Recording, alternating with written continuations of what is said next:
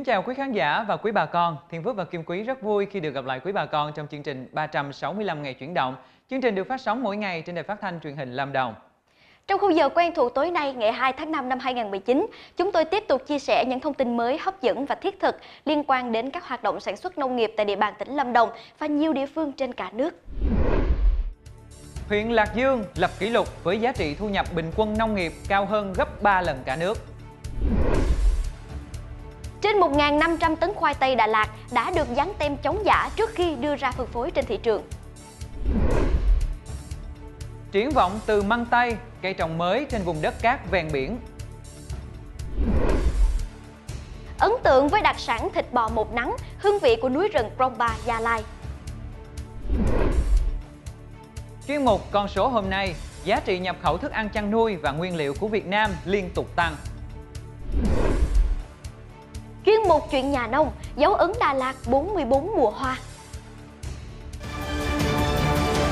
Thưa quý vị và bà con, như thường lệ, những thông tin cập nhật về tình hình sản xuất nông nghiệp tại Lâm Đồng sẽ được chuyển tải trong phần đầu của chương trình.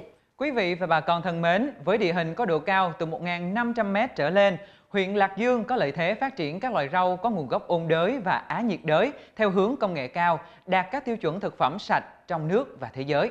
Phòng nông nghiệp huyện cho biết, tính đến nay, toàn huyện Lạc Dương phát triển gần 740 ha sản xuất nông nghiệp sạch, nông nghiệp công nghệ cao, đạt thu nhập bình quân 225 triệu đồng trên một hecta trong một năm.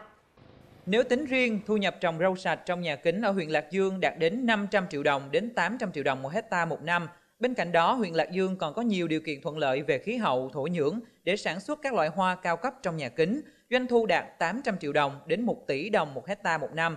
Cá biệt, một số diện tích trồng hoa lily trên địa bàn huyện Lạc Dương với doanh thu trên dưới 2 tỷ đồng một hecta một năm. So sánh với cả nước, giá trị sản xuất thu nhập bình quân chung trên đơn vị diện tích của huyện Lạc Dương cao hơn gấp 3 lần. Thưa quý bà con, liên quan đến khoai tây, triển khai đề án thí điểm nhận diện khoai tây Đà Lạt. Trong một năm vừa qua, Chi cục trồng trọt và bảo vệ thực vật tỉnh Lâm Đồng đã tiến hành dán tem chống giả trên 1.500 tấn khoai tây Đà Lạt trước khi đưa ra phân phối trên thị trường. Cụ thể, Chi cục trồng trọt và bảo vệ thực vật Lâm Đồng đã cung cấp cho các đơn vị sản xuất, kinh doanh sản phẩm khoai tây Đà Lạt với 65.600 thùng bao bì, đóng gói bằng chất liệu cạc tông 5 lớp, loại 10 kg, in sẵn hình của khoai tây giống 07 và B03, sản xuất phổ biến tại Đà Lạt và các vùng phụ cận. Trên đó nổi lên logo thương hiệu Đà Lạt, kết tinh kỳ diệu từ đất lành. Mỗi thùng cạc tông chứa từng túi lưới 0,5 kg và 1 kg, bên trong đều dán một tem chống giả và một nhãn hiệu nhận diện sản phẩm khoai tây Đà Lạt. Bước đầu có 9 đơn vị sản xuất, kinh doanh được chọn thí điểm dán tem chống giả khoai tây Đà Lạt, bao gồm Hợp tác xã Anh Đào, Phước Lộc, Tân Tiến, Hiền Thi, Tiến Huy, Phước Lộc, Phong Thúy, Thảo Nguyên và cơ sở nông sản Đất Thành. Xin được đến với một thông tin cũng rất đáng chú ý khác. Quý bà con thân mến, tỉnh Lâm Đồng hiện có khoảng 120 chuỗi liên kết sản xuất nông nghiệp. Hiệu quả của hình thức liên kết trên đã mang lại kết quả khả quan, giúp cho các nông hộ sản xuất đơn lẻ có đầu ra ổn định, giúp nông sản của Lâm Đồng nâng cao chất lượng nhờ áp dụng đồng bộ quy trình canh tác chế biến. Hiện ngành nông nghiệp Lâm Đồng tiếp tục tập trung triển khai nhiều giải pháp để hình thành các chuỗi sản xuất. Theo đó, từ nguồn vốn của nhiều chương trình đề án như xây dựng nông thôn mới, chương trình hỗ trợ ứng dụng, chuyển giao tiến bộ khoa học và công nghệ, đề án chuỗi liên kết sản xuất, chế biến, tiêu thụ nông sản, vân vân tỉnh Lâm Đồng tiếp tục hỗ trợ phát triển 31 chuỗi đã triển khai thực hiện từ năm 2018, dự kiến hoàn thành vào năm 2020. Song song đó, hỗ trợ mới 30 chuỗi dự kiến hoàn thành năm 2021, bao gồm 6 chuỗi cấp tỉnh và 24 chuỗi cấp huyện. Liên tục chương trình Triển vọng từ măng tây, cây trồng mới trên vùng đất cát ven biển. Ấn tượng với đặc sản thịt bò một nắng, hương vị của núi rừng Krongpa, Gia Lai. Chuyên mục con số hôm nay, giá trị nhập khẩu thức ăn chăn nuôi và nguyên liệu của Việt Nam liên tục tăng. Chuyên mục chuyện nhà nông, dấu ấn Đà Lạt 44 mùa hoa. Phần tiếp theo của chương trình sẽ là những thông tin cập nhật về những tin tức nông nghiệp tại nhiều địa phương trên cả nước. Thưa quý bà con, năm 2013, Viện Nghiên cứu Bông và Phát triển Nông nghiệp Nhà Hố phối hợp với Sở Khoa học và Công nghệ Ninh Thuận triển khai sản xuất thử nghiệm chuyển giao quy trình thâm canh nho NH01 152 theo hướng Việt Gáp tại các vùng trồng nho chính của tỉnh Ninh Thuận. Qua 5 năm thử nghiệm, giống nho mới đã được nông dân đánh giá cao nhờ chất lượng tốt và được thị trường ưa chuộng mang lại hiệu quả kinh tế cao. Đây là năm thứ năm giống nho mới NH01152 bén rễ trên ba sào đất rẫy của gia đình anh Trảo Văn Cát thay cho cây nho đỏ Red Carino truyền thống. Qua nhiều vụ sản xuất, anh nhận thấy nho NH01152 cho năng suất khá, chất lượng trái tốt, nhất là tiêu thụ thuận lợi với giá bán gấp 5 lần so với giống nho Red Cardinal. Vụ này với sản lượng hơn 4 tấn, giá bán tại vườn là 110.000 đồng một ký. Gia đình anh có lãi hàng trăm triệu đồng.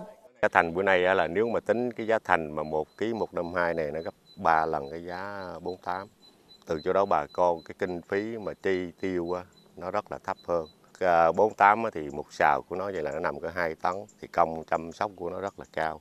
Thì cái chi phí của bên 148 nó không có hiệu quả bằng 152. Theo đánh giá của Viện Nghiên cứu Bông và Phát triển Nông nghiệp Nhà Hố, qua thời gian trồng khảo nghiệm, giống nho ăn tươi NH01152 có nhiều ưu điểm như cây nho có thể trồng trên nhiều nền chân đất khác nhau, vào mùa mưa, bông sổ khó tuột. Thời tiết nắng nóng nhưng cây vẫn đậu trái với tỷ lệ cao, khả năng kháng sâu bệnh tốt. Tùy theo chế độ canh tác, giống nho mới này cho năng suất bình quân 15 đến 18 tấn trên 1 hecta một vụ. Trong điều kiện thông canh đạt 20 đến 25 tấn một hecta một vụ, sản xuất được 2 vụ một năm. Giống nho NH01152 có đặc điểm trái to, trọng lượng từ 0,5 đến trên 1,5 kg một chùm, vỏ quả dày, thịt chắc, giòn, độ ngọt vừa phải, khi chín trái có màu đỏ vàng rất đẹp. Quý bà con thân mến, phát huy thế mạnh vùng đất cát ven biển, những năm qua, huyện Mộ Đức của tỉnh Quảng Ngãi đã đưa vào trồng thử nghiệm nhiều loại cây trồng mới với mong muốn là tìm được loại cây trồng thích hợp với thổ nhưỡng của địa phương. Trong đó thì cây măng tây sau 6 tháng trồng thử nghiệm đã mọc lên xanh tốt trên vùng đất cát ven biển. Không chỉ mở ra triển vọng phát triển nông nghiệp theo hướng sạch, bền vững tại đây, mà cây măng tây còn góp phần đánh thức tiềm năng về đất đai ở các xã ven biển, đem lại thu nhập ổn định cho người dân.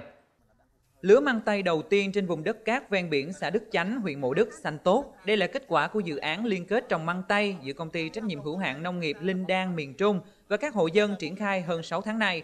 Cây măng tây có thể ăn sống ngay tại vườn mà không lo ngại dư lượng thuốc bảo vệ thực vật. Bởi khi tham gia mô hình này, nông dân được cung ứng giống, hướng dẫn kỹ thuật trồng, chăm sóc, đảm bảo theo tiêu chuẩn Việt Gáp và được giám sát chặt chẽ quá trình chăm sóc. Cây măng tây tôi thấy rất dễ dàng, công đồ tứ đồ là nó, nó thấy dễ dàng lắm về cái cái, cái năng suất của nó là mang nó ra nhiều Măng tây là loại rau giàu chất dinh dưỡng rất được ưa chuộng ở các nước châu Âu. Nhận thấy triển vọng từ cây măng tây, các địa phương ở huyện Mộ Đức đã thành lập tổ hợp tác, hợp tác xã để tính chấp vay vốn đầu tư và ký hợp đồng tiêu thụ sản phẩm với doanh nghiệp. Dọc ven biển ở Mộ Đức thì rất là phù hợp với cây măng tây, đặc biệt là có một cái vùng nước ngọt à, rất là tốt.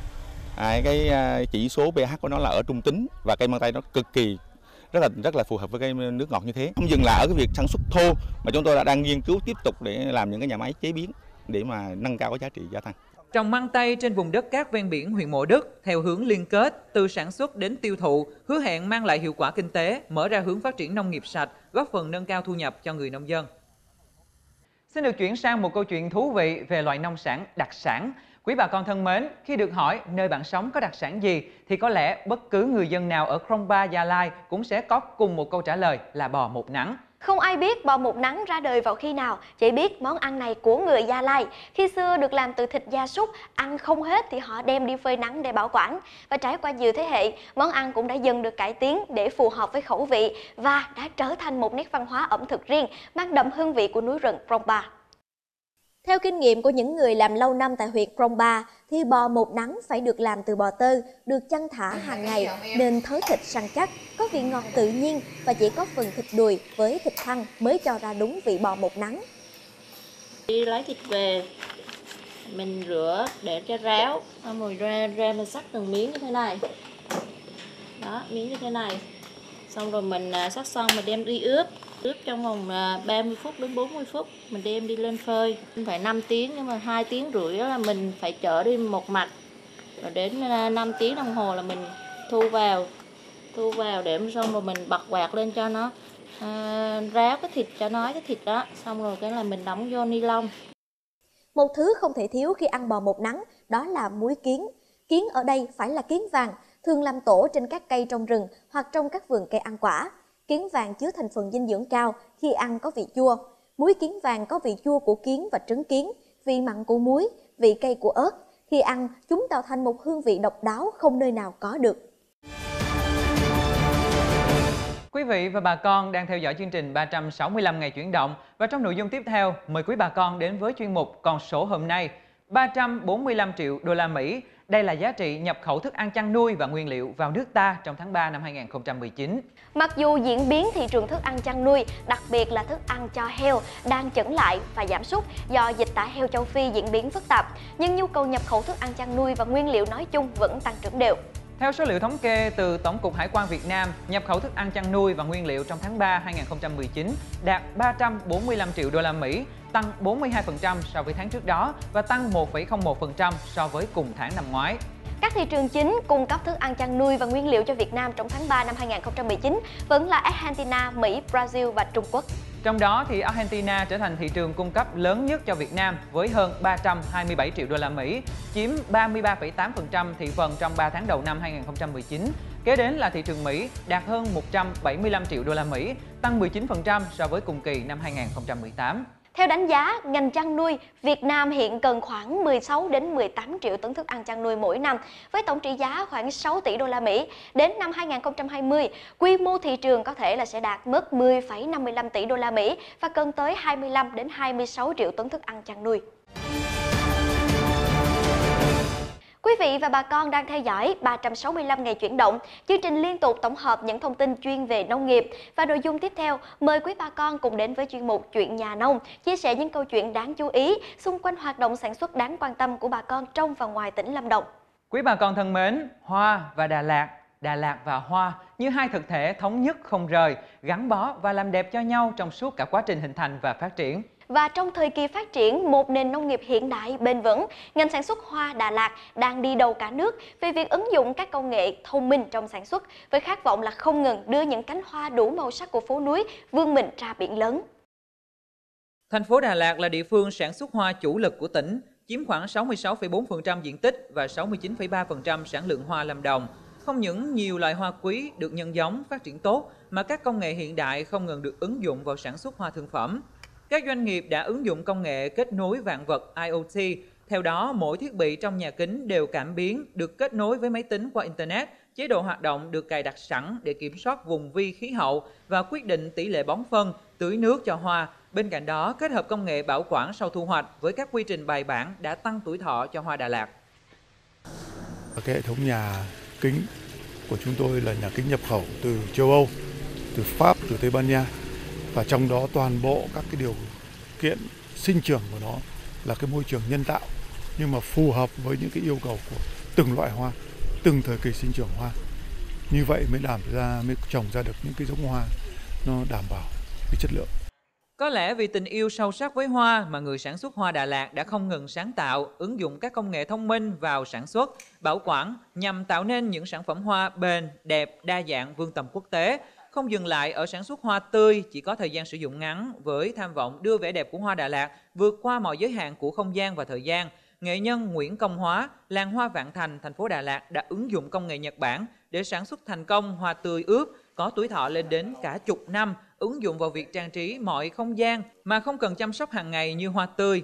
Đặc biệt hoa tươi ướp còn có thể là nguyên liệu sáng tác ra những bức tranh có giá trị hàng trăm triệu đồng. Hoa tươi ướp này nó là một cái công trình khoa học kỹ thuật hiện nay trên thế giới người ta cũng đang rất chuộng cái cái dòng hoa này.